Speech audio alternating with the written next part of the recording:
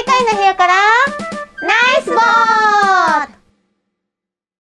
ーいろいろとメッセージが届いているので紹介したいと思います。はいはい。えー、ツイートワッツさんからいただきました。ありがとうございます。す。世界の部屋からナイスボーナイスボー えー、序章拝見しました。大変楽しそうで見ているこっちも楽しかったです。やった。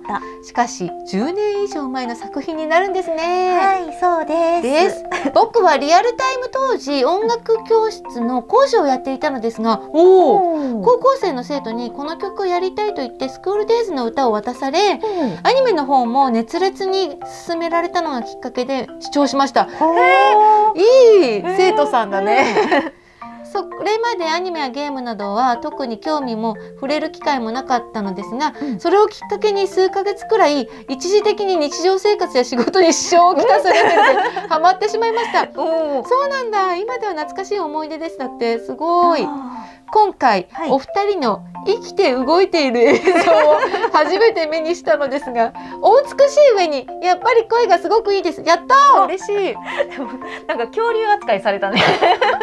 生きて動いてる姿だから。もうね絶滅したと思われてたものが動いてる生きてる。すごい。恐竜レベル。すごい。であで普通に会話されてるだけでもずっと聞いていられる。心地よさというかえー、プロの出す音な感じですごいなと思います。これからも配信楽しみにしています。頑張ってください。うわあ嬉しい。ありがとうございますツイートワッツさん音楽の先生だからさ、そんな音楽の先生が私たちの音色をあのう何？プロプロが出す音と。音。うん、だって思ってくれてるなんて。心地いいんだって。えー、嬉しすぎる。よかった。そう。生きて動いてるっていうのがね。生きて動いてるだからね。だって確かにさ、うん。まずあの作品的にもさ、うん。いろいろあってさ、うん。私もうチーンですし。ああそうですね。私どこかでね流されてしまったので。どこか 漂流しておりますし。あれ結局さ私たちどうなったんだろうね。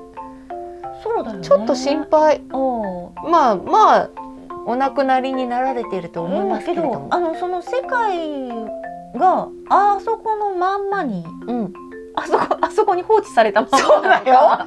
いつまで、なのか、ん、私いつまで漂流してるのかね。とか。どっか行っちゃう世界の国からナイスノートよ、こうね太平洋とかで出てぐるっと回ってうん、戻ってくるか戻ってくるかな？もしくはこうほらあのね潮の流れでアメリカの方まで行っちゃうとかね。うん。でもわかんないよ。フランスとか行ってさ。なるほど。あっちに行って。行って。でも行けるのかなあのかな？のボートで。いやちょっとね。ね難しいような難しそうだよね、やでもあの後どうなったか知りたいよね続編うん続になるのかわからないけど続かわかんないけど、うんこうなりましたっていうのは知りたいね。知りたいねあでもほら誠くんはここにいますよ。そこにいますよあこ一緒にここにここにいますよ。一緒にね、え それ右左重要なの？うん。いやここうやってたからこうこうだ。よく覚えてんね確かここにいますよ。そうなんだ頭ねうん。頭だけね頭だけね。いやでもさすぐ腐っちゃうよそうなんだよね。えどうすんだろう塩？漬け塩漬け？海で塩漬けかなそれだ。壺、なんかね壺とかあれば。あれはねうん。保存が効くかもしれないじゃあそのうち多分壺を抱いてんだなこれ。そ れあ怖いよでも浮いてる感じでしょなんかはちょっと嫌だな。いやどうなったのか皆様の想像する最後、ああそうだね。あの続あきをねの後はどうなったかはちょっと。送っていただけたら、送って それを紹介するしショートコントみたいにさやるよ二人で。もうちょっと別次元だけど、ね そんな感じで、はい、ツイートをワッツさんからいただきました。ありがとうございました